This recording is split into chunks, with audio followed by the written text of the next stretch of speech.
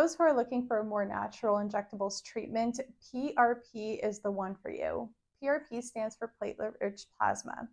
It works by having a registered nurse draw blood from your vein, placing your blood into a tube that goes into a centrifuge, which then separates the plasma from your red blood cells, and then the plasma is re-injected back into your area of concern.